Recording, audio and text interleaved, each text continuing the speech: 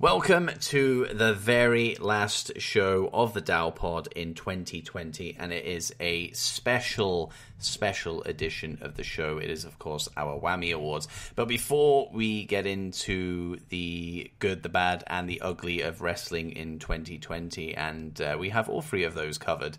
Uh, we just want to send a special thank you to every single person who has listened to the show, supported the show by whether it be a like, a retweet, or you know leaving reviews, or sub- actually subscribing to the shows on Apple Pods or following on Spotify, whatever it may be.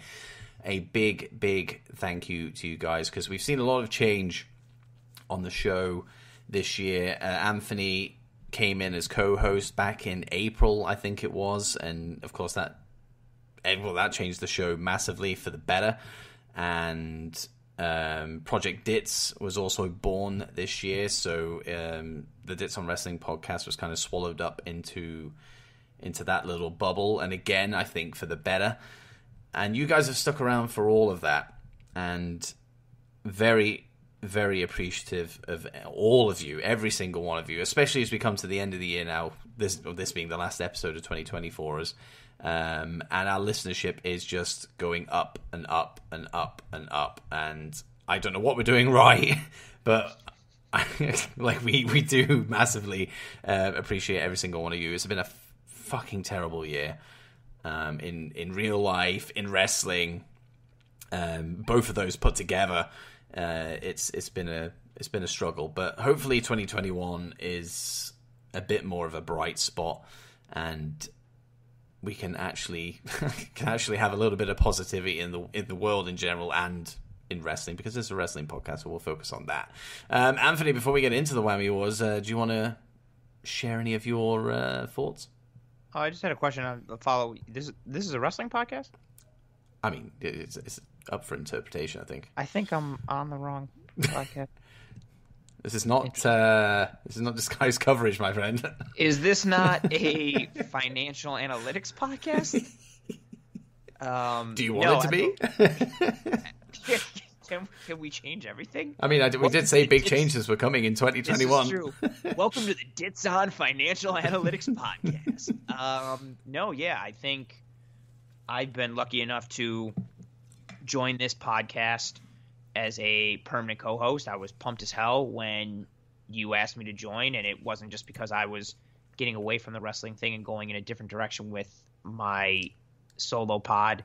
And so this that this opportunity opened up for the at the same time that I started doing that, and I love recording with you and what we get to do on this pod, and to piggyback on what you said, like the support and the success we've had here on the Dow Pod, it's been it's been super rewarding. We do we do a lot of things on this pod, and a good ninety percent of them are from your brain, and they are as much as we joke about it and make a lot of underhanded comments about a lot of the shit that we get from different people and different accounts and things. what we do on this show is, I think, very unique. I think it's very original. We do a combination of different things, and again, most of these the things that we do are all you know the, the brainchild in some way or form from you we've interviewed some great people this year we've had some uh, just even that like rich from WrestleCrate and mike from retrosoft studios Yes. those were both like so enlightening and eye-opening and we got to talk to two awesome dudes who do great things in the wrestling community and are doing great things in the world Two of our biggest that- episodes as well. that is two of our biggest episodes Maybe were so that's a sign of things to come.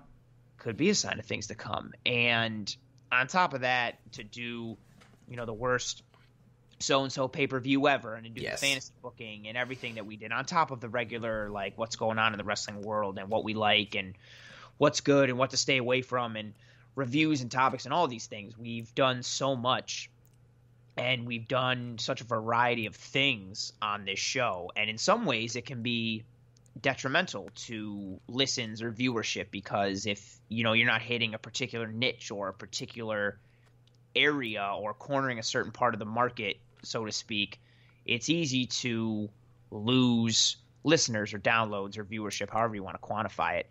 And i think with the success that we've seen with the dow pod I, I think what's tremendously rewarding in it for me and I know for you as well, is the fact that our numbers have stayed steady and then climbed and climbed and climbed. And because we do a variety of things, I I personally like to think that the reason our numbers do good is because you know the people are buying what we're selling and what we're selling at the end of the day is you and I. So I am tremendously thankful and appreciative for everything like you said the listens the viewership the support the retweets the likes the comments anything we you, you throw a tweet out of hey we're looking to do this in the next episode you know what's your thoughts? And people respond and give their questions their thoughts their comments concerns. People vote on things just everything. It's it's it's been a, a nice bright spot in like you mentioned the pile of shit that 2020 has been for so many reasons. And especially being a wrestling fan 2020 has been a dark time for wrestling in addition to the dark times of the world. So it's nice to have that little bit of reward in there for us, and I'm thankful to be a part of the Dow Pod. I'm excited for what 2021 has to offer, and I wonder how our listens will do when we switch to financial analytics. I can't wait. Me neither. I'm super excited. I got my calculator and other stuff needed to do financial analytics. got abacus, got a, a, thesaurus. I don't know why I'll need that, but I got it anyway. Dictionary. I got I got a mop and uh, and a blender. I've got my fingers. I'm ready to do some counting. Let's do it. So Let's do it. Let's do it. Um, I, it's, it is cliche to go, oh, 2021 is our year, blah, blah, blah. But I, I do think that when we've, because you know, we've taken a break now until 2021, um, I do think we're going to come back stronger with a more clear view of what this show is and what this show can be. Um, because it is doing well now. I think it could do better. Um, I, I, I, think everybody always has to have that mindset. You know, if you if you don't, then why why settle? Like if you think you can yes. do better, go for it. Push, push, push, push, push, push. And that's what we're going to do in 2021. We're going to hit you hard. Um, right in the face. Right in the face. Pow, right, right in the kisser. Pow, right in the kisser. Pow, right in the kisser. Pow, right in the kisser. um, but we want to end 2020 in a way only the Dow Pod can, and that is by hitting you almost literally with the 2020 Whammy Awards. Whammy! Whammy! Whammy! Whammy! Whammy! Whammy! Whammy! Whammy! Whammy! Whammy! Whammy! Whammy! Whammy! Whammy! Whammy! Whammy! Whammy! Whammy!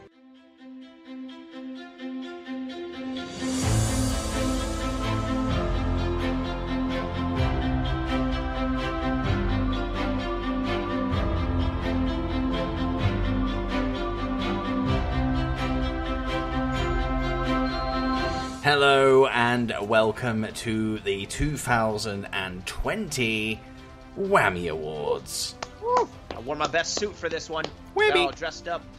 No, I realize no one can see us. Whammy.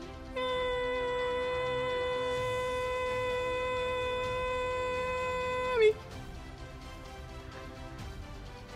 Yeah. That's stupid. Whammy. There's going to be uh, just uh, a disclaimer. There will be a lot of whammying going on in this episode.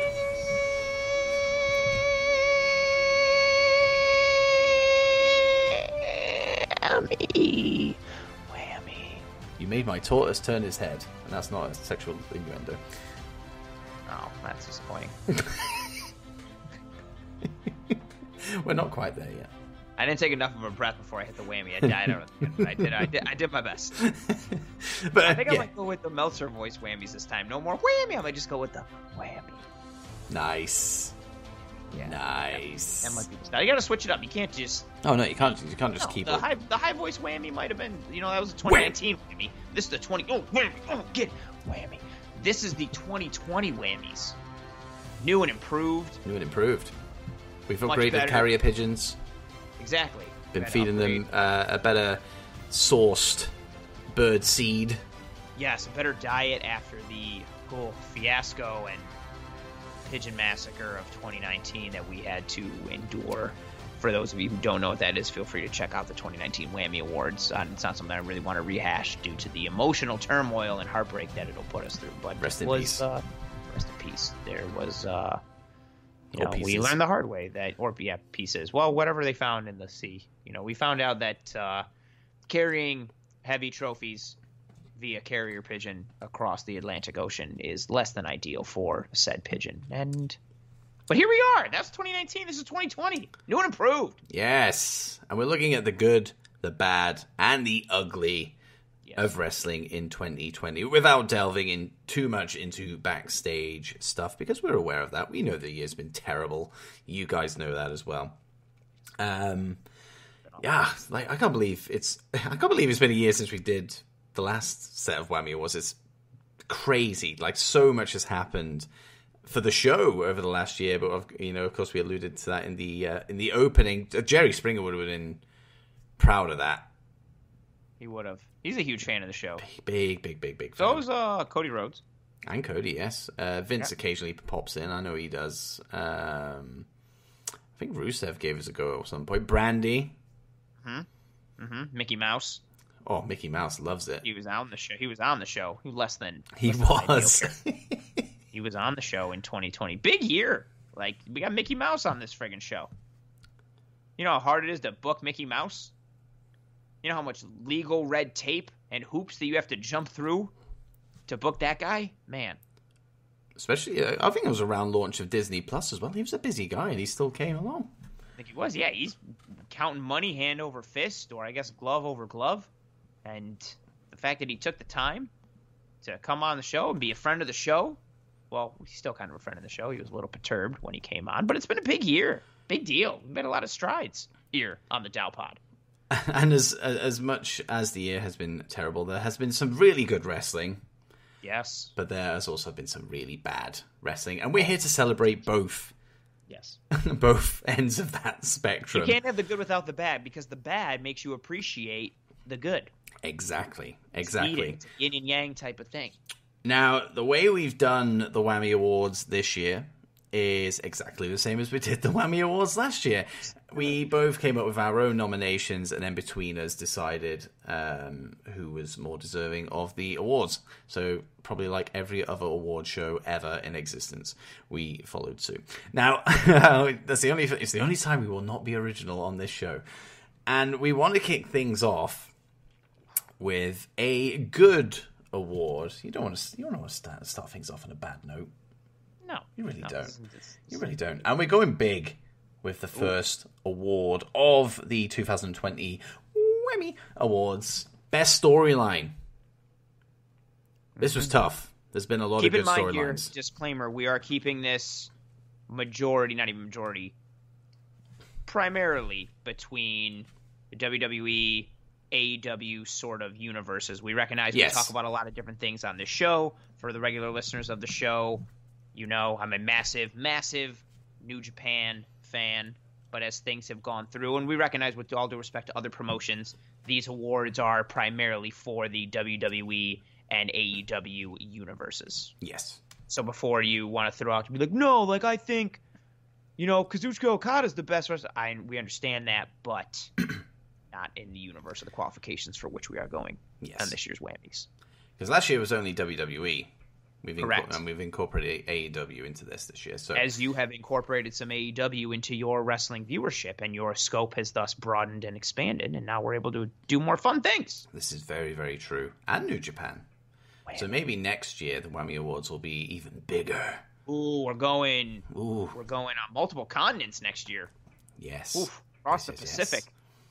Going world, Whammy. going worldwide. So Whammy. the nominations for best storyline of 2020 are Mandy Rose, Sonya Deville, Otis, and Ziggler. That whole it's not well, it's not a triangle, it's a, a square. Um, But pr- primarily the Mandy Rose, Sonya Deville stuff.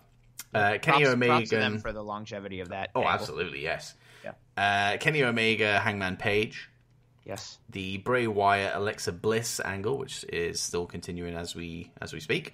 Um, the Bayley Sasha saga, again, a, another piece of long term booking, uh, sometimes frustrating, but uh, great payoff. The Legend Killer storyline with Randy Orton, and finally, head of the table, the Tribal Chief, Roman Reigns. So essentially, the Roman Reigns heel turn. Oof. And the winner is. So much drama.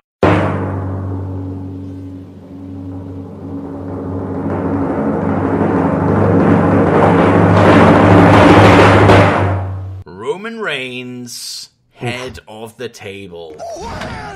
I am. I am shocked.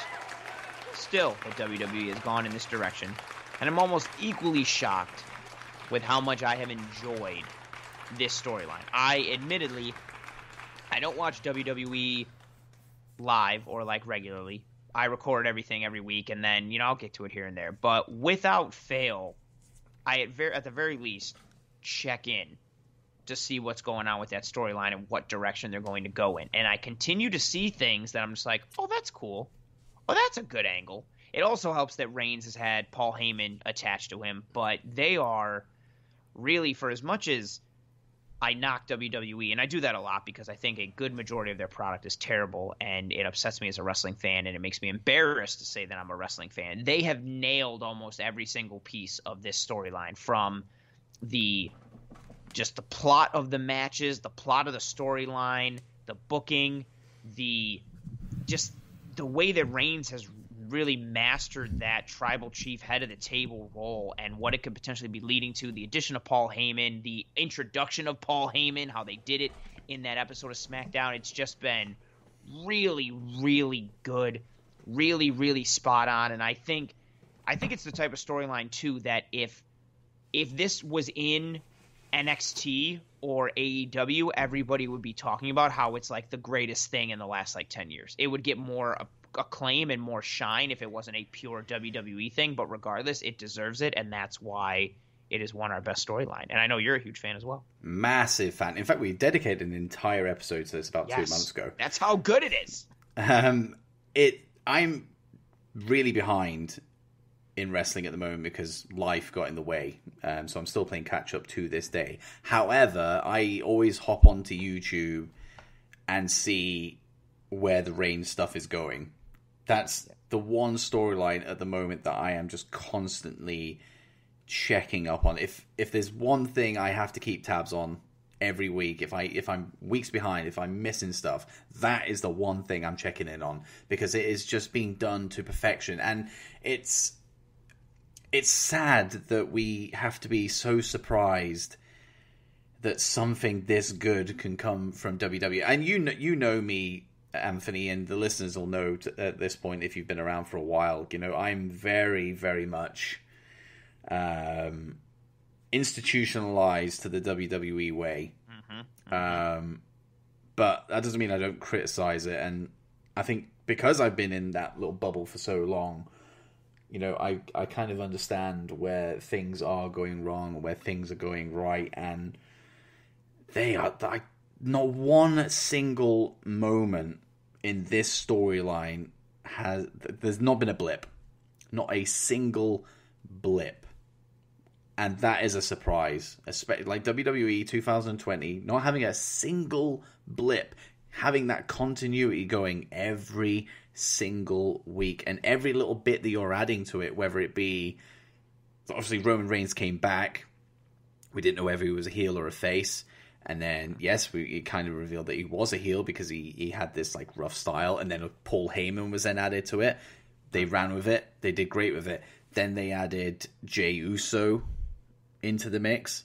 They've ran with it. They've hit ev- they've hit it out of the park every single week. They've kind of added Jimmy in there every now and then, but every time he's had a spot to play, it's been done well. It's it's been very mm-hmm. small, but obviously he's injured, so there's not really much he can do. Um, mm-hmm.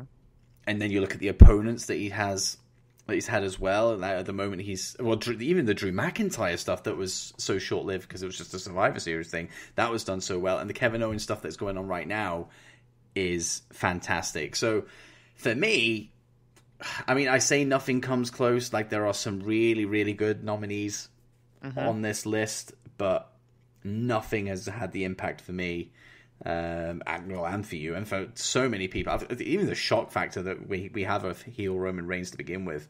Um, yeah, nothing, nothing comes close to Roman Reigns head of the table for me. The tribal chief, I will agree. Well I'm deserved. sh- I'm, shocked I'm saying it. I I think a, uh, a, a good two for me is I really like the longevity and the storyline of the Kenny Omega Adam Page storyline, but again to WWE's credit, I still can't believe I'm saying it. Yeah, they've nailed pretty much everything. I haven't come away being like, well, here you go. Like now it's gonna lose steam and now it's gonna suck. Nope, it just keeps continuing to get better and or at the very least stay good, which is something that WWE has a hard time doing. They tend to get in their own way or shoot themselves in the foot, and instead here they just continue to prosper with this storyline. And props to them, and props to Roman and Heyman and everything, and hooray for wrestling! You love to see it.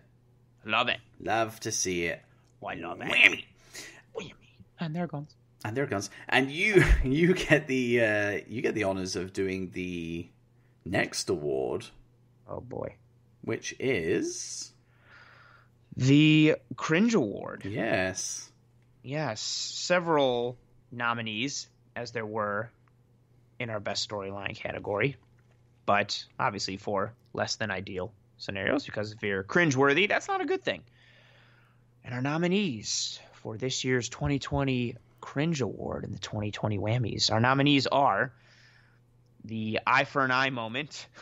I can't even say it without just like laughing at myself how stupid that was. Eye for an eye, so with Seth Rollins and Rey Mysterio. Uh, Braun Strowman's descent into madness. I'm a monster. God, I can't. Who writes that? And again, that's the other side. Like, how can the Reigns thing be so good, and then on the other, oh, it's just bad. Um, the Lana Bully angle, again, less than ideal. Retribution, not one specific moment, just everything. It's all cringe. And the Buddy Murphy, Aalyah Mysterio love slash relationship slash moments. Just, oof. Slash something. Yeah, just, oh, Just So those five nominees for this year's Cringe Award for the 2020 Whammies, and the winner of the Cringe Award in the 2020 Dow Pod Whammies is.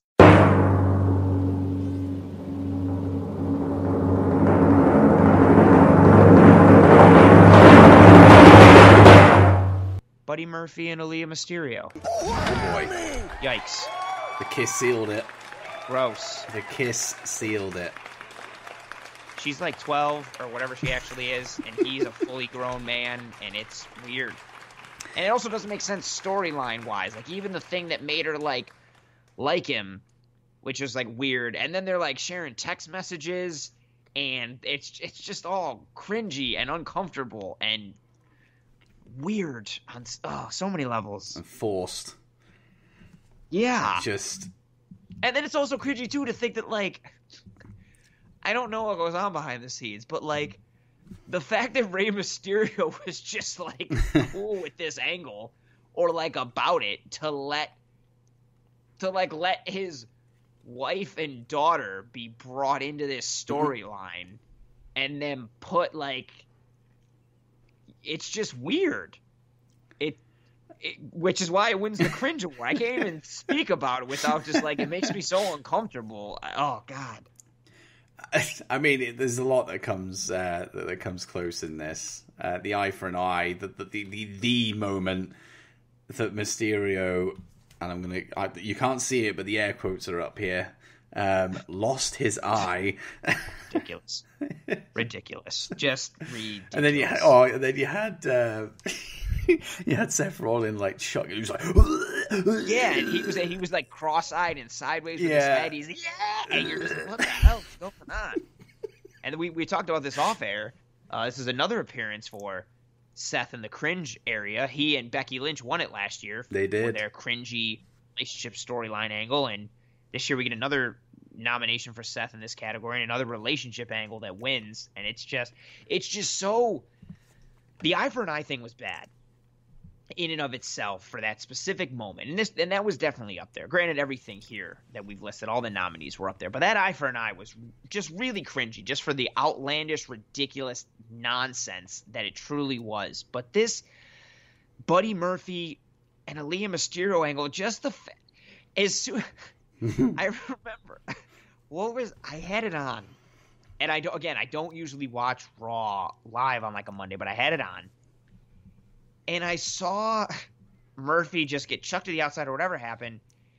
And Aalyah like walks by him and like kneels and like touches his shoulder and then just like walks in the ring. And right then and there, I was like, no fucking way are they going to have this adult man start a relationship with this very young girl. And I was like, there's no way that's where this is leading. My thought was potentially, oh, okay, you know what?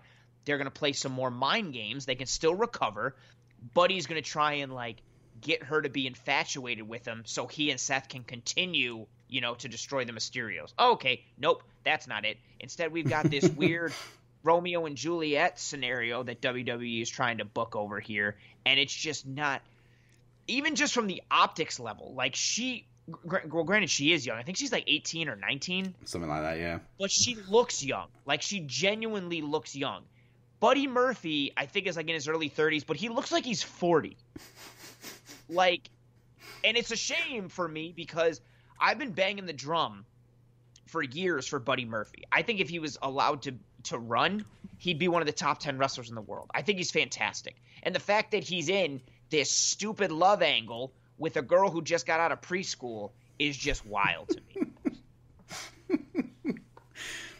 definitely, definitely deserving of the cringe award it's just absolutely. Hold on, because now now I'm now I'm on the internet. I am I am in it. Hold on here. Buddy Murphy is okay. He's 32. Aalyah Mysterio is 19, and she just turned 19. Oof. Oof. Yeah. Yeah. I just cringe she's out there like taking even if you google it like she one one of the top things is that like this image of like him wearing the suit coat and he's like holding her like to his chest after she like comes out and like hugs him or whatever after he like talk it, it's just I don't even want to talk about it. It's so stupid and bad.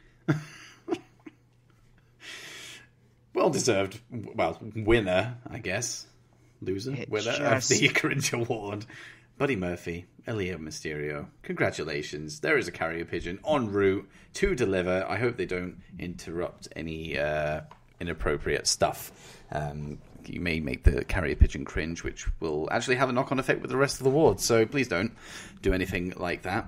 Um, Just. Yeah, bad bad, bad, bad, bad, bad. But I get the honors of righting the the wrongs of the the cringe here, and um, a new award to the whammies because we got rid of the comedy award because 2020 has been far from comical. Um, we've replaced it with breakout star, mm. and there's been some breakout stars this year and I'm going to say them now. These are the nominees for the Breakout Star 2020 Jey Uso, Kyle O'Reilly, Pat McAfee, Darby Allin, and Dominik Mysterio. And Aalyah Mysterio. no, not really. God. Just Dominic. No. And the winner is.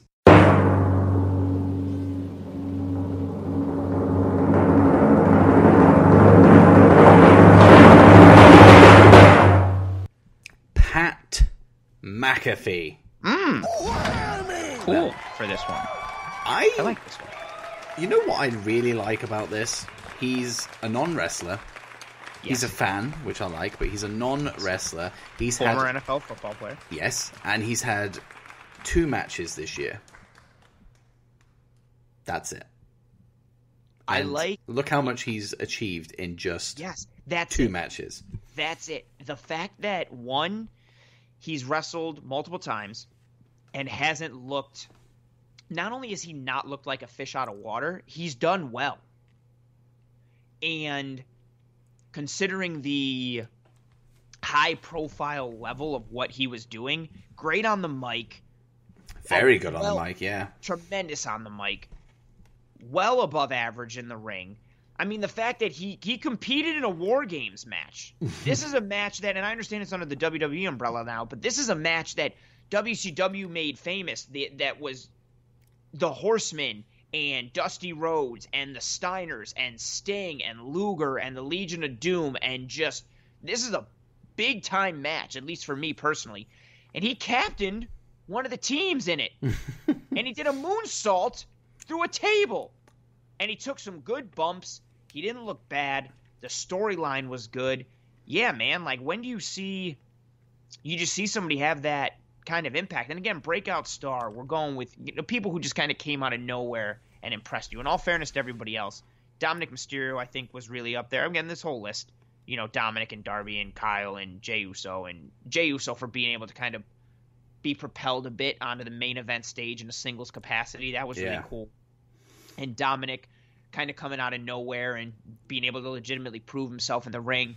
But both of those guys, well, really everybody on this list but Pat, have been training in wrestling or been in wrestling for a very long time. And Pat McAfee has not. And for the level of impact that he has had and the quality that he's delivered, all things considered, that's why we picked him. And it's he's really tremendous. Yeah, no brainer, really. Um, I mean, like you said, like everybody in this, you know, is in for a shout. That's what, I mean, that's why we've we've nominated them in the first place. But it, it really is a case of you have a guy that on paper should be so green, and I'm talking Lacey Evans last year green, um, maybe even 2020 Lacey Evans green, but um, like he's he is just a natural. I, I remember watching it in the Adam Cole match that he had, and just so, like let's just put the moves to one side because I, I, I was about to say anybody could do a fucking moonsault. Um, I cannot, but the fact that he was like he's he's very athletic, which is you know hardly surprising considering his his his background. Um, but some of the moves he was doing, fantastic stuff. But his psychology, like he understood everything. He knew the moments when to when to taunt and when to apply rest holes or like just every little tiny thing that comes with it. I, you know, I admittedly haven't seen the War Games match. I've seen like the odd thing here or there, and uh, correct me if I'm wrong. He took a dive off the top of the thing as well. Yeah.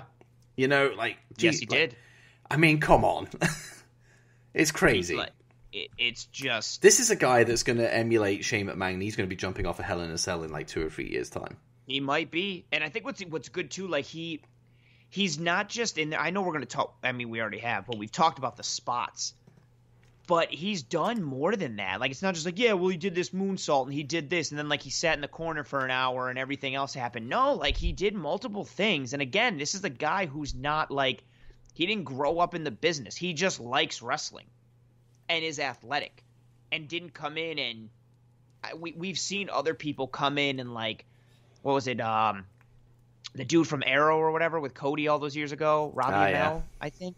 Um, we've seen like Robbie Amell, we've seen Shaq, we've seen Lawrence Taylor back in the day in the '90s. Like guys come in and they just they don't look right, or they do like one thing and it's like ooh kind of cool, but it's not like functioning within a match. This they put Pat McAfee with arguably the biggest star in NXT, and he held his own and did not look terrible and was Mhm. able to further a storyline and engage an audience and hold his own. I'm not saying he's the best worker. I'm not saying he should stick to wrestling full time and become champion or anything like that, but he is more than serviceable. And considering he just started doing it, and again, the psychology piece to know and have the ability to be like, I should do this now, or here's what I can do. It just that's tremendous for a guy. And because again, I don't care how much, I don't care how athletic you are, I don't care how much you've watched wrestling. It's not easy what they do, and he's nailed it. And I, I think it's. I mean, correct. I mean, I don't know if you'll agree with me, but I I see comparisons to Shane. I know I've already mentioned that, but Shane can put on a really good match if he wants to. You know, I I, I mean, look back at. Uh, well, one of my well, well, my favorite match involves Shane McMahon. Um, yeah, exactly. Kurt, Kurt Angle, uh, King of the Ring 2001, or his Angle sucks. or his um, or his match against AJ Styles at WrestleMania 32, I think it was. Um, like he can still wrestle even at this period, and he He can't punch. He can't put. Oh no, he cannot punch for shit. Yeah, but he he gets a good but he gets it. He gets it, and that I think I think you could. I think there is a very very easy comparison to be made between Pat McAfee and Shane McMahon. But at least even with Shane though, but Shane again has been in it to some degree his whole life and has been Yeah, that's true. trained a heavy amount more than Pat McAfee. Pat McAfee just showed up with a love and watchability factor, and just look where he is already.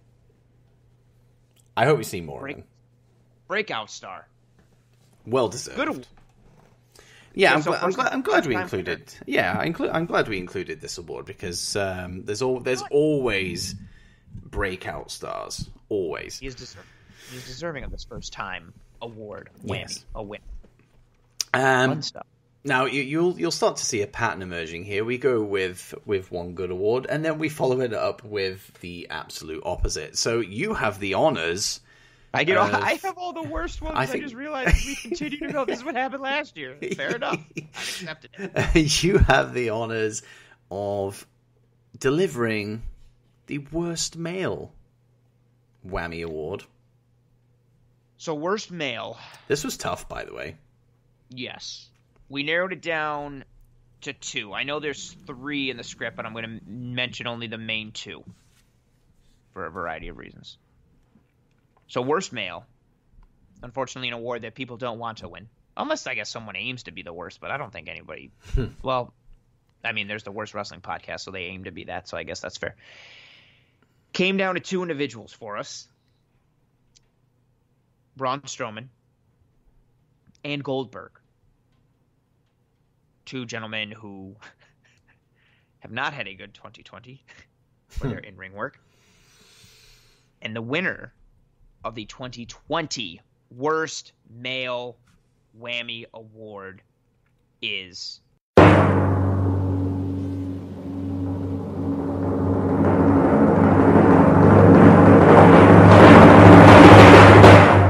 Ditz's personal favorite and personal hero, Braun Strowman. Yeah, Bad. yeah. I. It's one of it's one of those things. I I've there was a period where I was very very high on Braun Strowman, and as is so often the case, the trigger wasn't pulled, and then it was just a downward spiral. They really missed the boat with him big Yeah. time. Matt, like if if it gets to the point where you're pairing him with a three year old to win the tag team championships, like you've Oh, you've you have steered so far off the correct path that there is no going back. No matter how many times you try and resurrect like certain um, bits of his old character and like admittedly I can tolerate him in the role he's in now, but he's still not somebody who I'm like, oh yeah, you know, like he's had a good year. He hasn't had a good year. The whole the Bray Wyatt storyline, uh, not Oh. enjoyable, not enjoyable at all. And then his last minute inclusion into the um, into the title picture, the Universal title picture. I, th- I mean, that just came out of nowhere, and I, I mean, yeah, we we've just we've just named the worst male of the year, and he was Universal Champion this year for what three months? Oh God, too long. I mean, the answer. Yeah, it's way too long, way way too long. Um, I just haven't enjoyed anything Braun Strowman related. Goldberg, he had what two matches this year, ruined the Fiend. I mean, God. more you might you might as well just have squashed the guy. Um, Yep. And Also, they then had a terrible match against Braun, funnily enough thing, at WrestleMania. Shocking. I mean, yeah, Just bad. Bad all around. Bad for both. I think what gets me more with both of these guys are the worst. Not necessarily because they are inherently terrible. Am I a fan of like their workability and work rate and all those things? Not right now. No, and probably never. Actually, no. When I was a kid, I thought Goldberg was like the best thing ever. um, and then I realized that he actually actually kicked Bret Hart in the head for real and ended his career, and that bothered me a lot, and still does. But with both of these guys, I'll start with Braun. I don't blame Braun as much as I do WWE. Braun is still very green, even for how long he's been in the business. He's still very green. And again, they had this guy who they could have capitalized on. He, for as much as we talk about guys who have organic runs that are successful, Braun organically got over big time. And instead of capitalizing, like you said, and pulling the trigger, they didn't. They delayed. He cooled big time. And now they just they had him oh yeah, we'll just have him keep doing that thing where he runs around the ring and shoulder blocks somebody, which is so dumb because if the guy just stands there for a minute and a half while Braun runs around the entire ring. And then we'll just have him say, get these hands a whole bunch, which is all he does. His finishing maneuver sucks. The power slam, it's not good. And they put him in these matches and scenarios and give him this dialogue that he should just not be given. And it's so frustrating to see. I was never a fan of like Braun Strowman, but if they would have put the title on him when he was hot, I would have completely understood. Yeah. He was super over, and it was exciting to a degree. Like I don't care how campy or hokey it might be, it was kind of fun and kind of cool to watch him like rip a car door off. I was like, okay, I'm all right with that. Again, like I'm not taking WWE to be the sport of wrestling like I do with New Japan, so I'll go I'll go for this. And instead of capitalizing on it, they let him flounder around in obscurity so he could be fed to Roman Reigns. And then they finally decide to try and pull the trigger on him or do something different. And instead, they give him terrible matches, corny lines, bad situations, and he just fizzles out completely. And then he gets that horrible fiend cinematic match where he basically gets murdered at the end. and yeah, and then Goldberg on the other side, like this 50 year old man should not be in high profile matches for titles and championships. You're just making everyone want to hate him. Especially against people with massive amounts of momentum. Yes, like what do you? It's not like you're just feeding. Especially against people that are protected. Yes, you fed your like biggest weapon, Bray Wyatt, the Fiend, the guy that no one could beat. You fed him to a retired guy, so you could get like extra money in Saudi Arabia. That sucks. That is terrible. And again, I understand the bottom line necessity of it, but it was just bad. To, and I mean, it also doesn't help that Goldberg was never the best in ring competitor. And with age, he is only degressed. I think that's a word. Digressed? Degressed? I don't know. Whatever. He's gotten worse. And yeah, it, it bad. Both bad. Unenjoyable. Not fun. Bad. Bad. Bad. Worst. They, they, they could be co-winners, to be honest. But it, really it, has gone They to Braun. They can share Yeah. it. We don't. We don't have the, the the carrier pigeon capacity, unfortunately, to give them both a shared uh, a shared award. So Braun, you've got it. Enjoy. But there is a flip side to worst male, and I have the honors of calling the best male. And the nominees for the 2020 Whammy Awards Best Male Award are Roman Reigns, Drew McIntyre, Jon Moxley, Randy Orton, Keith Lee, and Hangman Page. And the winner.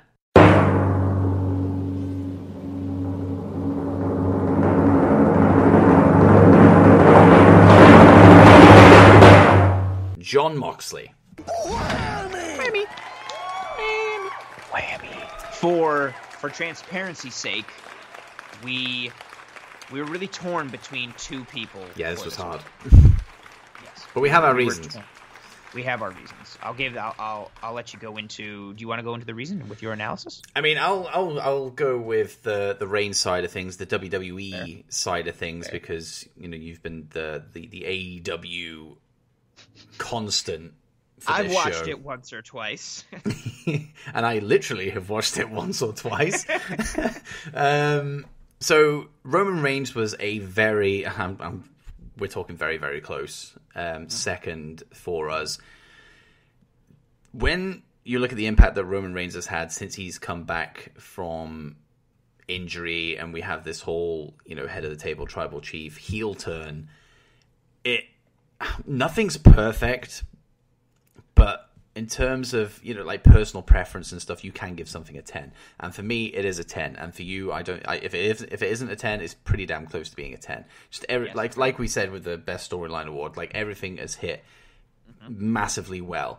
Tens, tens, tens, tens. The problem is, it's over a short space of time. yes, He came back. He came back at SummerSlam, which was what two and a half months ago, three months. Oh, it was SummerSlam. It what? Damn, I thought it was even. I thought it was like July or Backlash in June. Yeah, so it's even shorter. Yeah. Yeah. Um, Fair. And do you think you can you cannot argue the the impact that he has made since returning, but you ha- we have to look at the bigger picture here. This is the 2020 Whammy Awards, not the back end of 2020 Whammy Awards. Uh-huh. So with that in mind, Jon Yes. Moxley is the guy. And I'll let you take over as to why we have gone with Jon Moxley. So, If so it's not sample- obvious. Yeah. Well, it's because you know we just like his army fatigue pants. We think they're cool. so I like his hair. I like. I like he's married to Renee Young, and we like Renee Young. Yeah, we like Renee. Um, but I think the key there is the whole sample size aspect. I think again, I think the Roman Reigns story and everything has been fantastic, and what he's done has been great. It's hard for me to give someone a ten, whether or a perfect, whether it's a five out of five star rating or a ten out of ten. Roman Reigns has been a, a nine, nine point five. He's crushed it. It's it, it's ridiculous how well he's doing. But again, shorter amount of time, smaller sample size, less opportunity to fail, and also less moments of greatness, despite how great they've been. To your point, Moxley, and also I did not even say with Roman there. Same thing for Keith Lee. We've immediately thought about Keith Lee because he killed it in NXT, but since he's gone to the main roster, it's been terrible. Yeah. And we liked what Page has done. Randy Orton has had some good moments. I mean, we we we also didn't throw Kenny Omega in there, but Kenny's had some really great moments. But if you're looking at consistency, again, this is a whole year picture. So forget about a one-off or a couple months or eliminate any recency bias of who's been killing it for the last, you know, 4 or 5 months or even 2 or 3 or whatever. It's a holistic year view. And from January 1st, uh, 2020 until December 31st, 2020, Jon Moxley has done fantastic in his promos. He's done better than advertised in the ring. He's had multiple feuds. He's gotten the buy-in from the audience and the fans in a multitude of ways. And again, it's that sample size. He may not have always been a nine and a half or a nine like Reigns has been for these past two or three months, or well, actually August, September, it's like three, four months. But he's been like an eight and a half to a nine for 10, 11 months. And so that level of quality over the period of time is what gave us that decision there. And there you go, Jon Mox, Johnny Mox. That's a big award. That is a big award. That is a it's big crazy award. to think that it's two. I also never thought with this. I was never. I've said it multiple times on the show. Ambrose was my least favorite of the Shield in ring. I, I would say I thought he was slow. I thought his pacing was bad. I wasn't a fan, and I knew what he did in CZW, so I recognized recognized him as like a hardcore guy. But I never thought I'd like his like in ring stuff. I wasn't a fan. And then he went to New Japan, and he was in the G1. I was like, well, I'll see how this goes. And I was blown away. He did so much better than I thought. And maybe I was a little more impressed because I set the bar so low, but he did really great. And then I watched him go in AEW, and again, a variety of matches, a multitude of scenarios and opponents, and he just kept delivering. We always knew his promo work was great, but just to see where he is now and how far he's come, and to show the I, again, and it's, and it's not a knock against WWE. I never saw him as the dude that could be like the flag bearer or torch carrier for a company. And here he is carrying the torch. I know he's lost to Kenny recently, but he was the standard in AEW for the very, very, very heavy majority of 2020. And he's helped put him on the map, and he's been a great champion. He's been a great wrestler, and it's awesome to see where both he and Roman Reigns are right now, both just respectively killing it in their respective companies and respected, you know, fields in which they are working right now. Yeah. Um, and he well, he also won the PWI. Uh, number, Oh, got the- that's right, The he number one did. as well, didn't he? He did. What You a know, good year for him. you know. I'm sure he'll appreciate this whammy win more than that. That's it. That's if the uh, the pigeon gets there. I think you know we're a couple of wards in now. He may not have made it, but the the, the bird seed may be helping him. The, the, we went Yeah. organic this year. We did. We also laced it with a shit ton of amphetamines to keep him awake for the trip and hopefully not crap. But we'll find out in the coming days how he got on. Or didn't we get on, as the case may be. Um, now, you have the honours of we go. delivering the worst tag team Yeah. award for the 2020 Whammy Awards. Correct. Yeah, Yeah. yeah. Worst tag team. Pretty pretty self-explanatory. A not good tag team. A bad tag team. But the worst 20 tag team for 2020 will come down to one of these following teams that have been nominated. We've got Nia Jax and Shayna Baszler. We've got Mandy Rose and Dana Brooke. We've got Dolph Ziggler and Bobby Roode. I completely forgot that Bobby Roode even exists until seeing him mentioned on this list. We've got Lucha House Party. Ugh. Yep. And well, our boy Fox Dorado is awesome in that though. and the Forgotten Sons, who are their name alone is just so meme worthy. So meme worthy. And the winner of the 2020 worst tag team here on the Dow Pod Whammy Awards goes to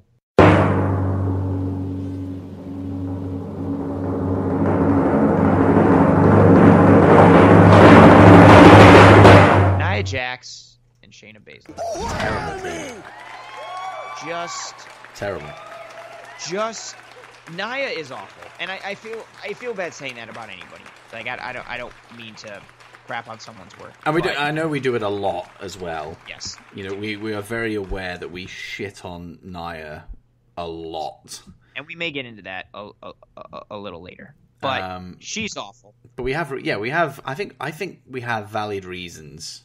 I completely agree, and we'll get into some of those reasons further potentially later in this episode.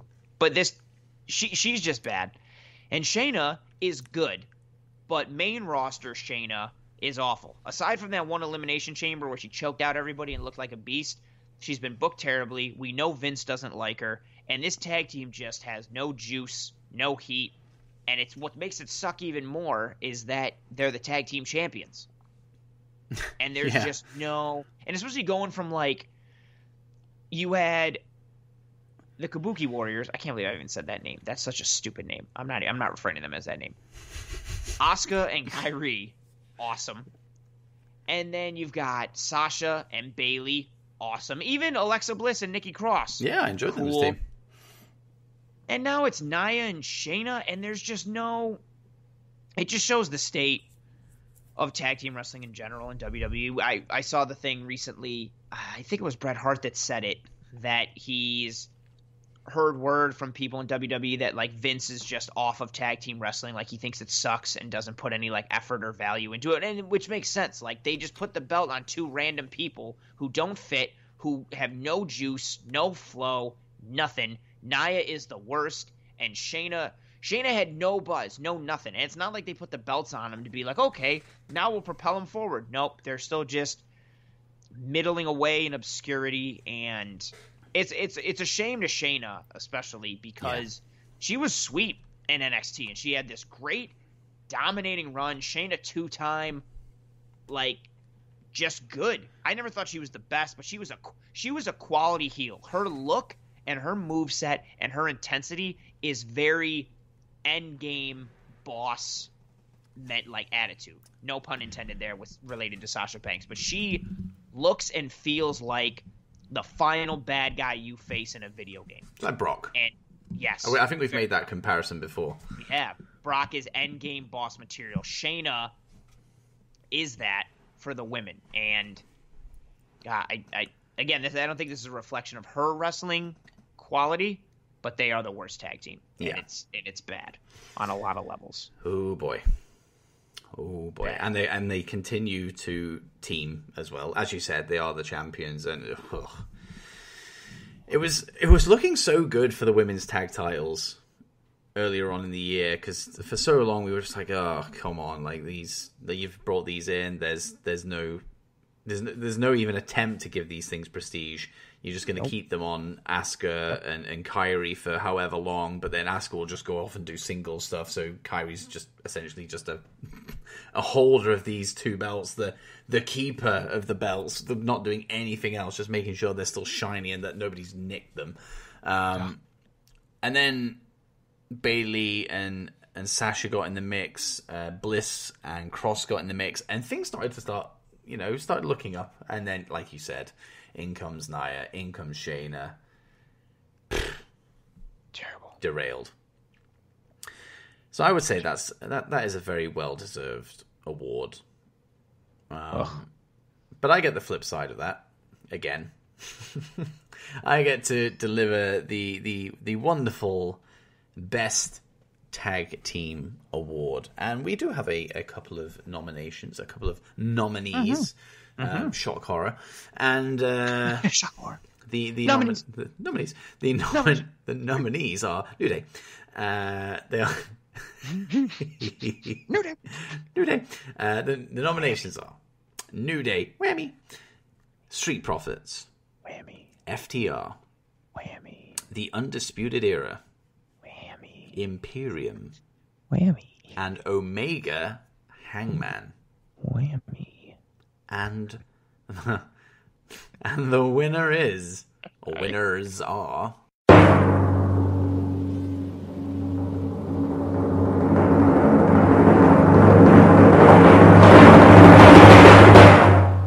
FTR. Ooh, clap it up for FTR. Mm.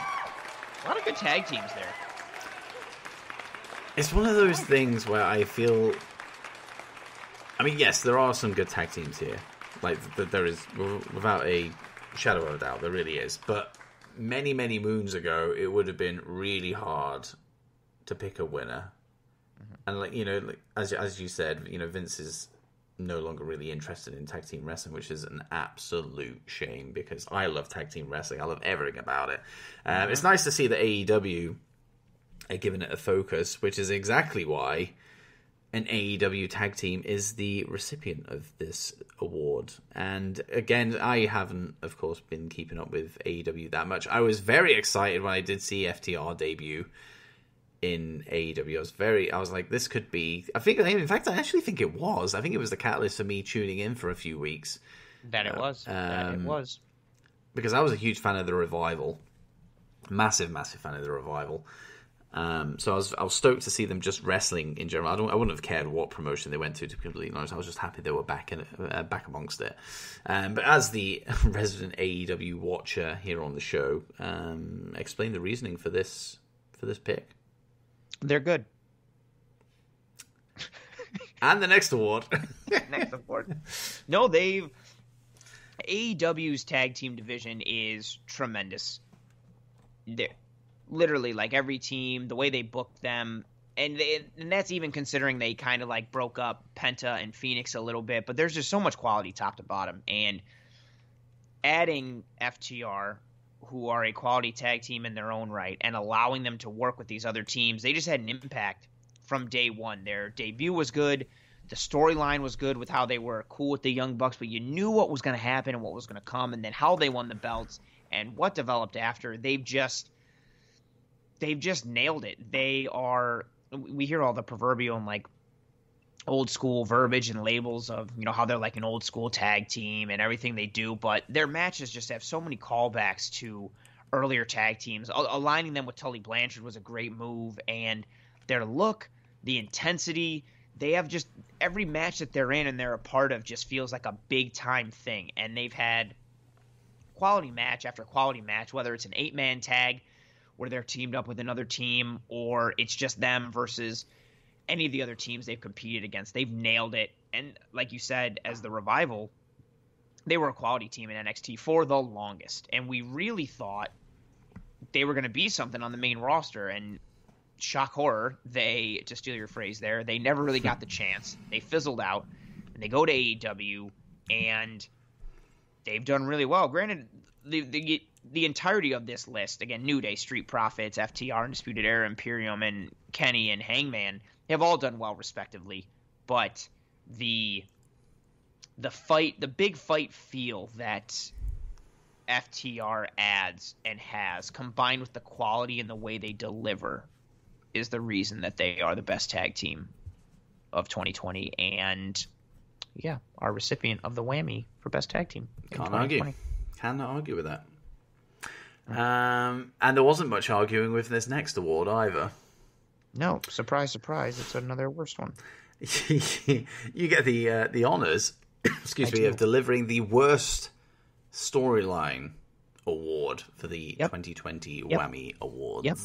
I am very passionate about this one. I'm going to announce it and then go into a bit of a rant because it still pisses me off. So the nominees for worst storyline here in the 2020 Dow Pod Whammies are the Lana Bully angle, making another appearance after being on Cringe. Raw Underground. so stupid. eye for an eye. That whole storyline, not just the single moment of Rey having his eye removed. And we can incorporate everything that is still going on with this bloody storyline. It all still bad. Yeah. God. Braun Strowman versus Bray Wyatt. Terrible and unrewarding. And Retribution. And the winner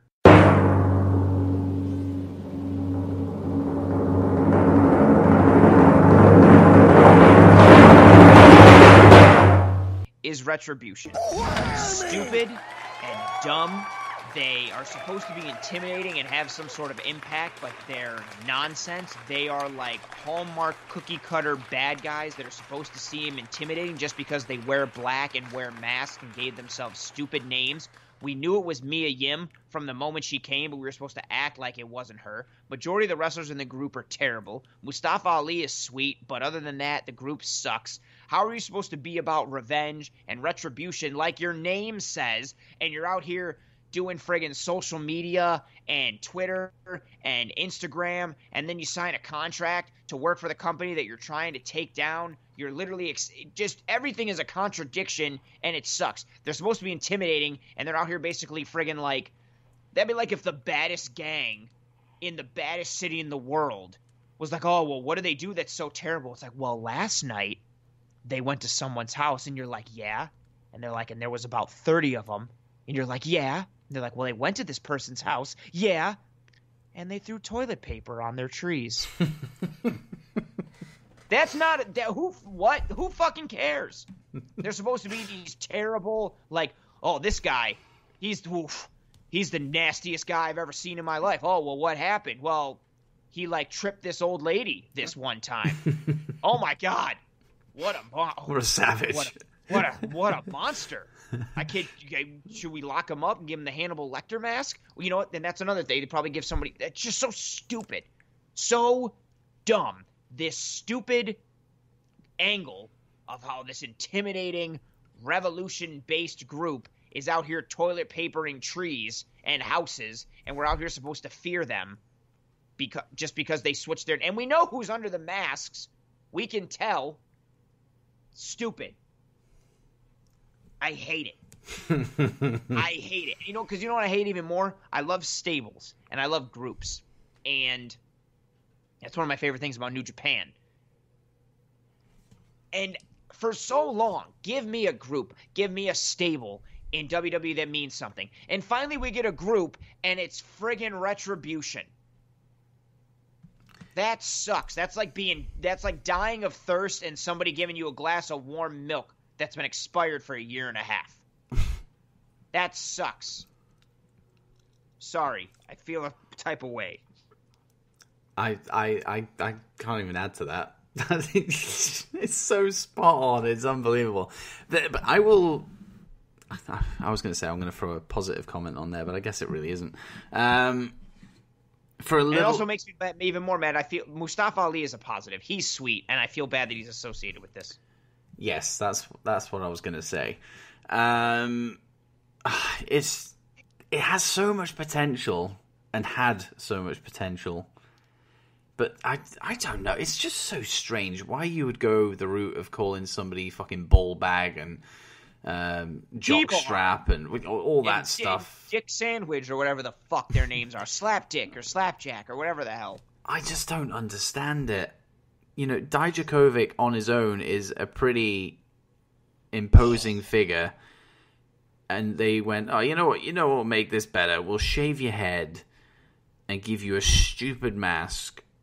And Just- Dio Maddin or whatever his name is, who is now G. Spot or something, whatever his name is. Um, uh, um, I just, I just don't get it.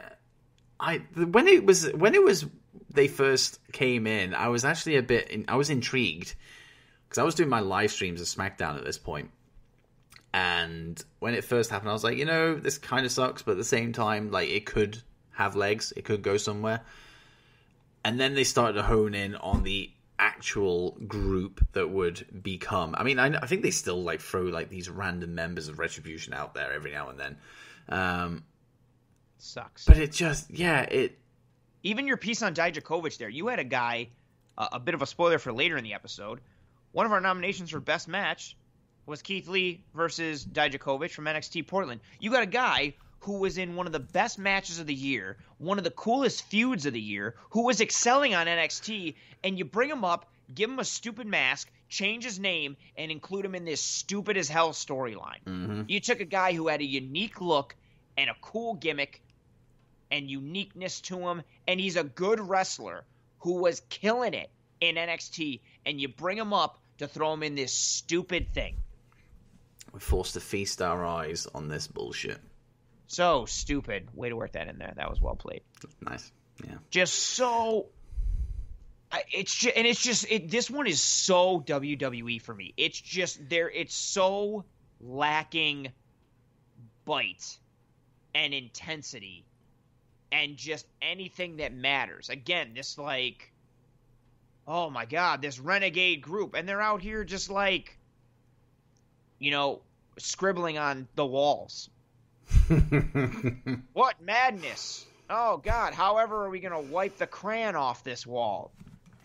Like it's just so. they don't even win any of their matches, really. No, they suck. They just they don't do anything. And again, what's the like? If you're gonna have them be on the roster or have them sign that deal, whatever the hell, have them win something. Have them do something. Have them hold the belts hostage that they keep winning, or just some crap. And instead, they just keep picking on like you. Even now, or, or a couple weeks ago, they were going after Ricochet, or picking on Ricochet. Like that matters. You already screwed over Ricochet by making him look weak against everyone he faces, and now they're oh, like now we're gonna pick on Ricochet. Oh man, way to show everybody how intimidating you are by picking on like the weakest dude in the area. Like how let him go after Drew McIntyre and feud with McIntyre and do something crazy to him, like put him through a car windshield or do anything other than just like Set him on fire. Yeah, set him ablaze. like just you can't you can't have both. You can't have this soft cookie cutter nonsense and then at the same time like we're supposed to be like intimidated and worried. No. It just it's just all a fail and it doesn't Yeah. make sense and it's foolish and annoying and their names are dumb and I'm I'm angry. Congratulations, Retribution, for winning worst storyline. Yeah, there you go. You guys sucks. I don't know whoever wrote this sucks. Not as a person, I guess, just like as what you do in your, your job. uh, but on the flip side, like, Hey, more I- positivity. I love from I love the flip side. It's great. It's a great place to be. I have the honors of delivering the best female award for the 2020 Whammy Awards, and we uh, this list could have been longer than Jericho's fucking thousand and one holes or whatever it was. Uh. Oh, I love. I love that promo so It's much. so good. That whole. Armbar. Have, have you ever do you, have you ever seen the payoff of that when Malenko finally comes back? no. Oh my god, you need to to go on a small tangent here. You need to watch that. D Malenko, so there's like a cruiserweight battle royal. The winner gets to face Jericho. And oh, I got goosebumps even thinking about it. So again, Jericho has been like taunting Dean Malenko for months and months and insulting him, insulting his dad, just everything. And we're not hearing or seeing anything from Dean Malenko. So they have this cruiserweight battle royal, and Malenko comes back as this masked luchador Ciclope, and it comes down to him and Juventud Guerrero at the end, and Juventud like knows it's Malenko under there, so he just pats him on the chest and jumps over the top rope and eliminates himself. And Jericho comes into the ring like, "What the hell is this? What the hell is going on?" And Malenko takes his because the mask has a wig attached to it. And Malenko takes off the mask and turns around. So, oh, I got goosebumps. And the crowd pop is massive because again, this was before like there wasn't any hints. There was no social media. There was no like Reddit or anything where it was like, yo, like I heard Malenko's coming back. To... It was none of that. And the pop is massive. It's so good. I will look that up. That just one match of the year. Armbar. Armbar. Man of a thousand five hold. Oh, it's so you need you need to watch that. It's so dope. Continue. Sorry, I got distracted and excited. I needed something to brighten my spirits after how angry I got at this stupid retribution. Armbar. Arm. So such a good. You're saying it. You're saying it like a pirate. Ar. Arm. Well, it's the, it is the Dits on Wrestling podcast after all. Um, the only, only podcast probably. Hell yes. Uh, the so the uh, nominees for um, best female are Io Shirai, Sasha Banks, Bayley, Asuka, Rhea Ripley, Shotzi Blackheart, and Candice LeRae. And the winner is just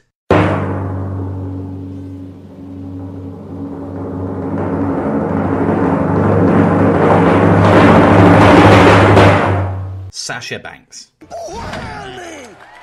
I argued this one. You did. Fine with it. She was a very, very close number two for me, but I'm fine with it because she's been fantastic. Again, to your point, every we could have listed more. Any, I, I leaned towards Io and Sasha, but any one of these girls could have won for best female of the year, eh, which is a real test. And ironically, most of them, aside from Sasha and Bayley, well, I guess I mean Sasha went to NXT for a bit. Um, most of them have been on NXT for this year, which again is another credit to the quality of NXT. But yeah, they've all killed it in one way, shape, or form. But I don't think you can argue with Sasha being number one. She's had a great year. I think what pips Sasha over Io is the storylines that she's been involved in. I think that's what pushed her over the line for me. Because like Io Shirai, like we say it all the time, and I think I think it's actually universally accepted, to be honest, that she is one of the best wrestlers on the planet, male or female. And she's put on some great matches this year. Of course, she's finally won the NXT Women's Title, which we were very happy about when that happened. Very. But Sasha Banks has had the whole Bayley thing constantly throughout the year. Um, you know, whether it be you know teases of, of, of dissension, tension, whatever you want to call it, um, to the actual implosion, which we've been waiting years for, Yes. um, which was frustrating. But how it all actually played out, I'm glad we. Were. In fact, I, I wish it went a little bit longer after Bayley attacked, and you know we kind of waited to the Rumble or maybe even WrestleMania. But I understand that it's a long, long time to wait. Um, but what they did do with what they had was very, very good. Sasha Banks, of course, became the SmackDown Women's Champion and defended successfully for the first time in her first defense. Can't believe it. And she's still going strong. Like she's she's set up for this feud with with Carmella now, and I think I honestly think it's going really well. Um, and I, I just hope that they continue this push with her and don't just go, mm, well, you know, she's had her time in the sun. Let's ah, let's just give it to Carmella now because she's come back and she's fresh. No, don't do that. Let's not do that. Um, and I think, yeah, I think Sasha Banks massively deserves it. She's been she's been really great on the mic, and I love. You know what I really love about Sasha at the moment is the fact that yes, she's been she's she, she's been a heel all year, and even though Bayley, a heel, turned on her, the natural course, and this isn't just WWE, this is across the board. You would say, "Oh, Sasha Banks is now a babyface." I don't think she is, Mm-hmm. or at least she's towing the line Yes. but she still has all of those heel tendencies, which is perfect. Like, why? yes. It's one of those rare moments of consistency in WWE where they've gone just be just because you've been attacked by Bayley, your best friend, um, viciously, you know, all that stuff. You're not just suddenly going to go smiling to the crowd and being this happy-go-lucky champion. Like she's still Sasha Banks. She's still condescending. She's still a bitch. Yes. And this is what like she's Yes. she's still the boss. This is what I love about it. Whammy. And I think that's why she deserves it. I completely agree. But like, that's not to take anything away. Even with- obviously Bayley nominated for the award. Well, I mean, she what a year she's had, longest reigning SmackDown champion. Um, she's had a lot of good moments herself. Um, yeah, Asuka's had a good year. I mean, she's still the Raw Women's Champion. Maybe not as as good as it could have been, but she still had a good year. Rhea Ripley's still tearing up. Shotzi Blackheart. You could have actually argued that she was, you know, a breakout star of the year. Um, you know, Candice LeRae has been solid as ever. You know, she had a really good match with Io Shirai at uh, Halloween Havoc. Um, you know, th- they're they're killing it. They, the women in WWE are killing it. So we, like we said at the very start of this award, like we could have gone, so, like this list could have gone so so long. Um, but yeah, Sasha Banks is uh, is taking it for me. Can't argue. She's, I believe I've, no, I, I know I've said it before on the show. I think she is the best non-Japanese female wrestler in the world. All due respects to Bayley and Becky Lynch and Charlotte Flair. But she's great in the ring, and I think yeah, the storyline aspect, the promo work is really what sets her apart, and that's all in consideration for best female. And yeah, she's well deserving of it. I think I would still lean towards Io, but I have no problem with Sasha winning, and I, I support you in this decision, and I support her as the winner of the uh, best female in the 2020 Whammies. Well done, Sasha. I know you listen. Well done. She Well does. done She's to a you. huge fan. She's a huge fan. And now you. Yep. I mean, to be honest, this is probably going to be a short one because you, Yep. we've pretty much already covered it. Um, Worst female, Anthony. Worst female, same thing. No fancy window dressings. Direct and to the point. Worst female, 2020 Whammies. Nominees are Tamina, Shayna Baszler, Lacey Evans, Nia Jax. The winner.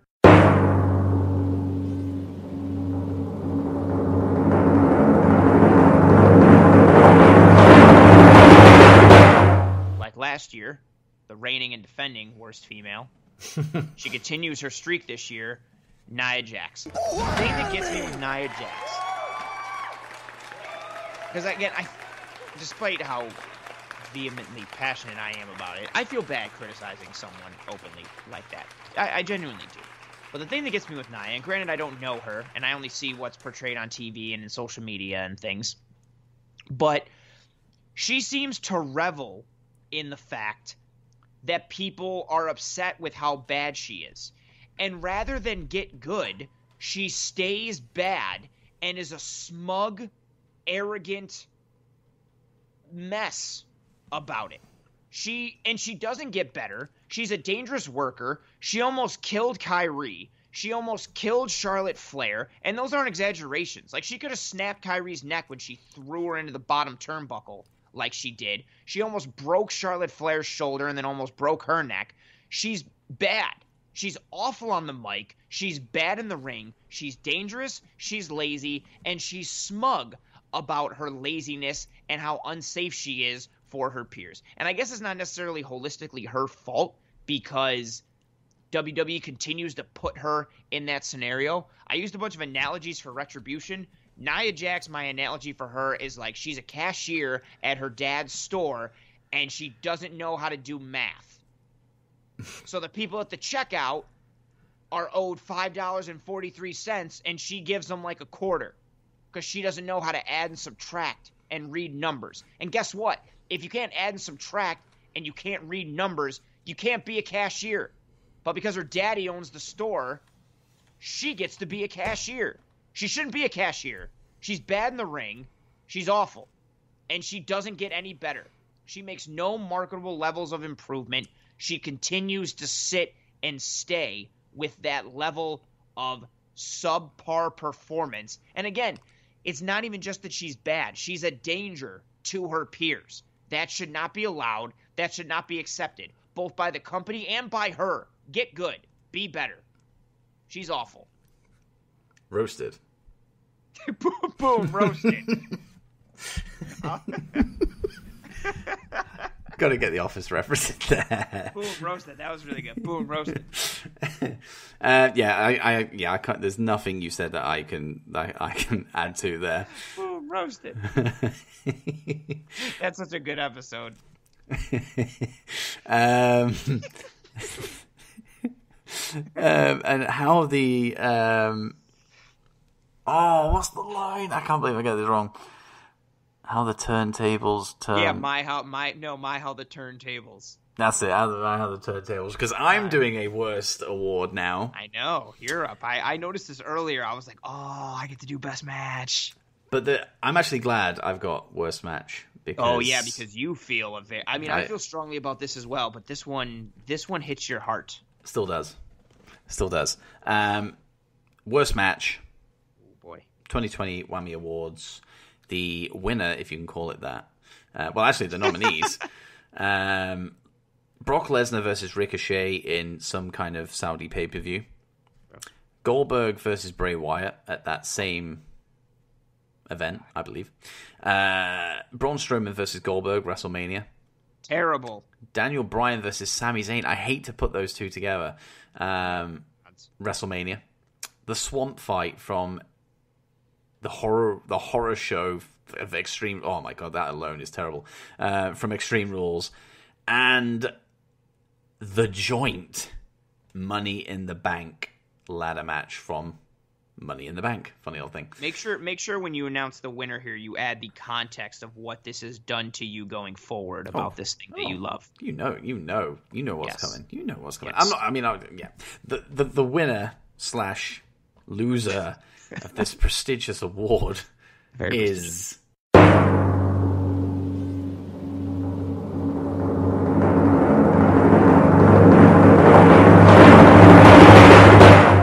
The Money in the Bank ladder match from Money in the Bank. Whammy! I- if, if you've been a listener of this show for a while, and maybe you- know specifically around Money in the Bank this year, you'll already know my thoughts. And throughout the year, we've we've come back to it a couple of times. Um, so I'm not going to go too far into it, but the whole I'm going to start. You know, what? I'm actually going to start off on a positive note with regards to this because the premise was interesting. Yes. At the completely very least, the, the the the premise was interesting, despite the fact that you you you had there was no re- there was no reason or rhyme for this, and I don't think anybody's picked this up, and it, it bothers me that I was the only person that went, "Hang on a minute, why is this even happening?" Because it's not like, oh yeah, we can't have Money in the Bank matches, the ladder matches in the in the performance center because you know limitations, whatever. Earlier on in the night, we had a tag team ladder match. So why why are you doing it in Stamford? And why mm-hmm. why are these people running through the building? Like I, I just don't. Mm-hmm. You you had you had the place to do it. You had a ladder match early in the night for Christ's sake. Like there's there's no reason why it couldn't have been just held in the PC as standard. At, well, I say as standard for what it was the standard at the time. But no, they wanted to try something different. And you know, power to you. If you want to mm-hmm. if you want to try something different, go for it like I said, the premise was cool. You know, they're going to make their way from what the ground floor of WWE HQ straight up to the roof where there's a ring set up. Cool premise, potential. But from the very freaking moment this thing started, like I, I'm, I blow hot and cold with cinematic matches. Um, you know, you're going to find out in the next award. Um, you know, when it's done right, but when it's done wrong, it is so wrong. And this was exactly that. The whole thing was stupid. The, the, it- molding the two um, genders together. You know, I'm not against it, but just keep them separate. Like, why? Why are these people like? Oh, it was, they just did it just to add to the shit of the whole thing. Like, you know, if we if we have more bodies, that means we can have a bigger food fight. Get the fuck out of here! Like, Doink the clown appeared, who didn't look anything like Doink the clown. Like, Brother Love showed up for some reason in the toilets.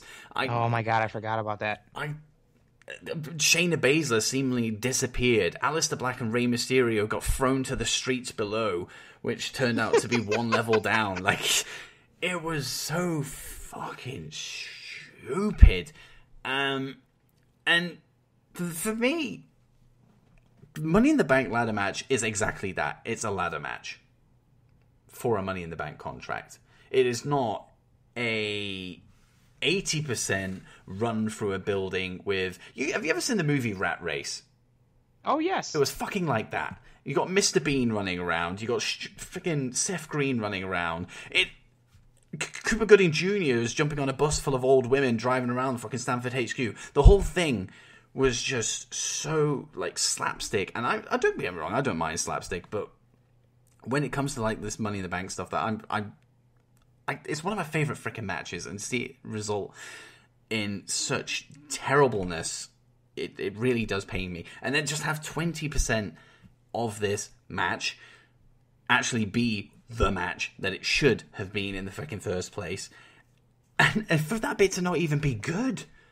They finally get to the roof. Half of the people don't even show up, and the, the, the women's side of thing just ends pretty much straight away um, with Asuka winning, which is fair enough. Great winner, but she the, the, women then all disappear. They all go, and then it's the men's turn. And the way the, the even just the way the winner is is determined is just straight up fucking stupid. AJ Styles grabs the case. For me, winner. I don't care if you drop that thing. AJ Styles, you just won the briefcase. Just because he yep. fumbled it two seconds later and it happens to land in the hands of Otis, which, by the way, is the biggest fucking waste of time considering, oh, funny old thing, he is not the money in the bank. Uh, well, he's not Mr. Money in the Bank anymore. It's now The Miz. So speaks volumes. The fact that it was fumbled out of AJ Styles' hands into Otis, who stood there just like, like, uh, the rules do not state that you must come down from the ladder with the briefcase or with the title belt. A ladder match, you just need to get it off the hook. Exactly. That's the win. It's no one has ever taken it off the hook and descended the ladder. how, how, how many times do you hear that, whether it be the money in the bank, whether it be titles, the moment it is unhooked, you get the bell. Correct. The, the, that, that very moment that it is unhooked, ding, ding, ding and just because AJ Styles held it for two seconds, then dropped it, what? Yeah, he loses. Stupid. And it, the whole that whole thing, and to this very day, because I said this when we were doing our Money in the Bank review, it has tainted the Money in the Bank ladder match for me. I will not be able to take that seriously next year if there they decide is. to go the traditional route.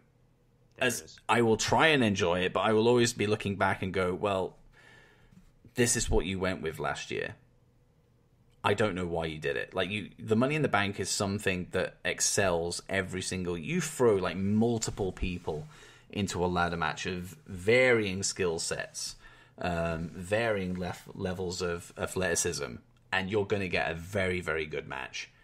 Mm-hmm. And the fact that they've gone, you know what, we're gonna gonna throw like the women and the men together. We're gonna have them run through this building in a rat race fashion. Then we're gonna have them go up on the roof and not really do a match, as oh, just winds me up. It's just tainted the match for me, and I, I hope that they put on an absolute barn burner next year, and I go, yeah, well, you've kind of restored my faith, but I can't look back on this favorably at all. And for me, there is absolutely no question that this is the worst match of the year and potentially one of the worst fucking matches I've ever seen. Uh, no argument from me. I think it's terrible. I thought the comedy wasn't comical. I thought it just did a disservice to the match. I thought it was hokey and dumb, and the spots were dumb. The ending didn't make sense. I I, I second this notion. This was my clear number one. Braun and Goldberg from Mania is a decent enough two for me. And decent enough to the point I mean like it's close in terms of my disdain. God, that match was really bad. But I think go, I think what makes this the worst match, and maybe it's not the right lens to view it through, but I knew Braun and Goldberg was going to be terrible, and it was terrible. But to your point, the Money in the Bank match, you had all these opportunities to make it good. Again, even just like the whole thing of like putting it in WWE headquarters and that, and being on the roof or whatever. Like there were really cool things you could have potentially done. Yeah. And instead, you just made it this, ah, this stupid jumbled mess, an overcomplication for something that was simple and made to be fun. And they WWFied it. They WWE fied it, however you want to put it there, and just ugh, made it a bungled mess. And Braun and Goldberg was also very, very terrible, legitimately terrible. But at least that was only terrible for like three minutes because that's how long the match was. This Money in the Bank match was like a half hour of crap. Don't want to watch that ever again. No, I I I won't. I mean, I mean, I'm not rewatching WWE stuff nowadays anyway. But it was just so. This was immediately when we were going over this and going over nominees. Like I literally put this and I didn't even bother almost thinking of anything. this was so bad. I was like, nothing will touch this. This is the winner. That's it. And I erased it from my brain that I didn't even include it in my nominees. Yeah, and I told you, and you were like, yes. You immediately. Oh God, terrible. So bad. So bad. But enough about that. I'm I'm done with the Money in the Bank match until next year when they potentially could redeem themselves, but I would be very surprised. Um, you've been doing the worst stuff, Yeah, I get to do a good one now. but now you get to do. Well, I would. Would you say that this is the award in wrestling? yes, match of the year. Yeah. match of whatever is always like best match of the pay per view, best match of the show, best match. Yeah, that's always if when you leave a show with friends, that's what you're talking about. Oh, who do you think had the best match tonight? Yeah, best match is always the biggest award, let alone for the year.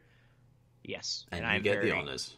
I'm very honored. I'm very honored to finally have a positive one to speak about, and also to have it be this one, best match, big deal, 2020 Dow Pod Whammy Awards. The nominees are AJ Styles versus The Undertaker in their Boneyard match. Kenny Omega and Hangman Adam Page versus the Young Bucks. Kenny Omega again versus Pac in an Iron Man match on Dynamite. Keith Lee versus Dominik Dijakovic, NXT Portland. The men's Rumble match from the 2020 Rumble. And Walter versus Dragunov from NXT, whatever the hell Europe. nice. I was I was trying not to laugh because I knew I was going to do that the whole time. Then I was going through the nominees. It was so hard for you to not laugh. So stupid. and the winner of Best Match 2020 Dow Pod Whammies is.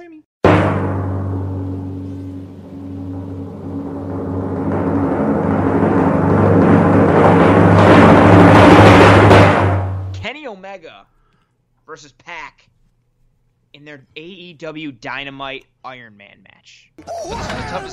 This was not easy. This was not easy. There are quality matches listed here. We all like them for a variety of reasons. But oh boy, that Kenny Omega versus Pac Iron Man match. I said it when it happened back in February. I believe I said it on Twitter. I know I said it to one of my friends that this was the match of the year for me. Again, in this universe, in this WWE AEW universe, and oh boy, holy hell! That tag team match also with Kenny and Hangman versus the Young Bucks is also very close with there. Um, I mean, they're all close. Walter versus Dragunov was phenomenal. The men's Rumble is great for different reasons.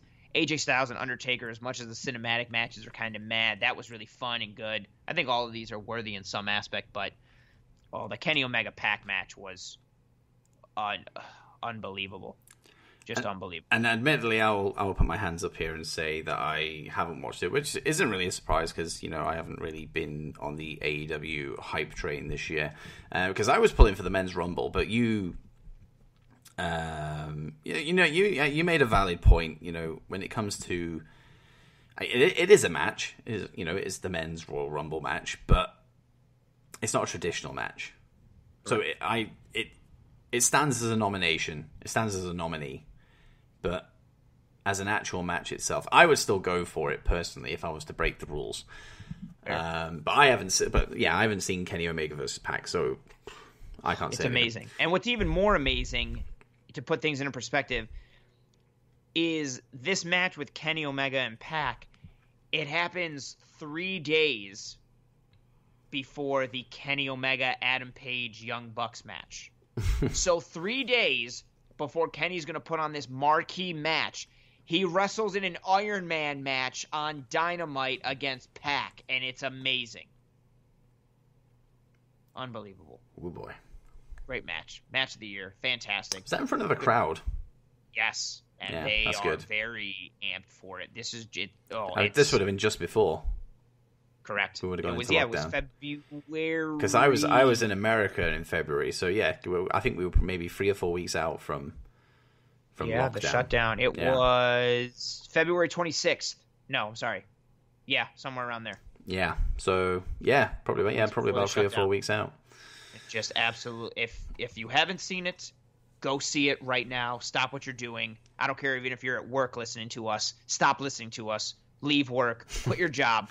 Put your two weeks in, but don't give two weeks. Give immediate notice. go home. Watch this match. And I know you're thinking like, oh, well, can't I just like watch it later or still keep my job and watch it? The answer is no. You cannot. I know you might think that logistically, but for reasons I can't disclose at this moment, you can't. Quit your job. Leave your family leave it all behind. Go watch this match now. It's amazing. I am I, I am actually going to take that advice. I'm going to go. I've already quit my job. it. I'm gone. I've left. It's over. Left it all. Left it all behind.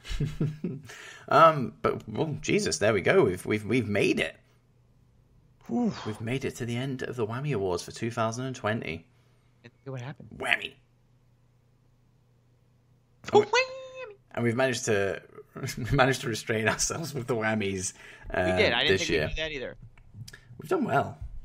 I'm proud of us. We've done very well. I I mean I love the Whammy Awards. It's that the thing I re- the thing I love about the Whammy Awards is that it actually started off as a Twitter thing for two years um, that I just did on my own personal page, and then oh, you know having a podcast, it just made sense to bring it onto here. And you were here for the first one as a guest, Yes. and here you are as official co-host doing the uh, the 2020 edition.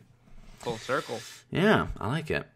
Full circle. Yes. Last year's when we recorded was when um my neighbors. It was the second time we'd ever recorded anything together, and my neighbors downstairs were being extremely loud, and I had to. F- I went to multiple rooms in the house or in the apartment trying to figure out which one had no noise, and so I would just be like, "What about this one?" And be like, "Nope, still here." And I'd be like, "All right, give me a minute." I go to another one and be like, "What about this?" And you'd be like, "Nope." And then I finally found the last one. I was like, "What about here?" And you were like, "Good." And I was like, "All right." I was uncomfortable as hell because I was recording in an area I don't record in, but because there was no noise, I stayed there. The things you have to do to get the right acoustics for a podcast. It's tough, Oh, it's a tough life. It is Exactly. a tough we life. We suffer for our art. We do. We really do. Um, and that, uh, well, that sadly is the end of our 2020 as well. It is. Hmm. Our last, a little. our last episode. I mean, it, I mean, is it? We've only just come back from a hiatus, so it feels.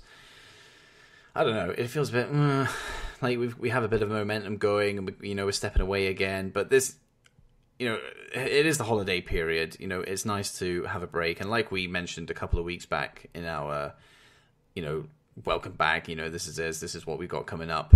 Kind of episode that we did. Um, I think it was two two weeks ago we did that one before uh, draft that. Um, you know, there's stuff that we want to focus on next year. There's stuff that we want to build on. There's new stuff that we want to dive into. It's nice to have a break to kind of get all of that refined and just have a picture ourselves before we, you know, crack on with it and really start building this pod to why what we both think it can, uh, that it can be. What that is at the moment, we don't know completely, but Fleshing that's why exactly we're fleshing out. That's why we have that's why we have this break so we can you know go back and forth with ideas and go right well this it is 2021 it's a clean slate um and this is the Dow pod. This is here it is. This is what it is now. Uh, Mm-hmm. but don't expect any major changes. That's so don't don't get worried about that. You know This is leaving the show. this is leaving the show. Anthony is anchoring it on his own. Um, no, thankfully it's nothing that drastic. Um, yeah, it's just small, small tweaks, small tweaks. That's all. Um, but it's exciting stuff, and it's nice to have a break. Um, and I guess to that, with the break, with it being a, a, break for the holidays, I mean, you know, we we already were given our little thankful address at the very very um, head of the episode, but. Um, you know, we, again, I, I, just wanted to say, you know, reiterate that point. You know, thank you to everybody who listens to this show, and uh, well, yeah, I hope you have a good Christmas. I hope you have a good New Year, and uh, we'll see you in 2021. Yeah, we will. And, and, it'll be a big year for the Dow Pod. It will. Anthony, um, I, I guess, I forget, you know, I forgot to do the plugs, but I don't really care at this point. I don't really have anything to plug. Go, go to, go to my Twitch, twitch.tv forward slash project. That's it. Yeah. That's, that's, that's my plug. Anthony, yeah. get, your, get your plug in and do the traditional Anthony goodbye, and then we will uh, close out 2020 with, well, nothing. Just silence. Just silence. With just pure silence. I am Anthony. How 2020 should here. how 2020 know, right? should end. Just, I was thinking silence. that how apropos. Yeah, a thousand percent. I am Anthony, co-host here on the Dow Pod. Find me on Twitter at pro underscore underscore ant. That's pro two underscores a n t. You can also find me as the host of my own solo pod titled Disguise Coverage, part of the Cover One Sports Network, covering the Buffalo Bills so if you're a Bills fan or an NFL fan, I do a lot of breakdowns and analysis of the Buffalo Bills and things in the NFL in general. So feel free to check that out. Check out Cover One. Check me out here on the Dow Pod. And you can find Disguise coverage on Apple Podcasts, Spotify, YouTube, Facebook. Find me on the Twitter. Find Dits on the Twitter. Find us on whatever platform reviewing service you are using to listen to the Dow Pod. And as Dits mentioned, I'm going to do the outro here. And normally I like to make a a big statement and have it lead up to just me saying like goodbye shortly. So I kind of like wind it up like I'm going to say something deep and thoughtful and meaningful, and then I end up just saying you know a really short goodbye, and that's how the episode ends. But to piggyback on what Dit said earlier, I I, I don't want to do that this time. Instead, I just want to say goodbye.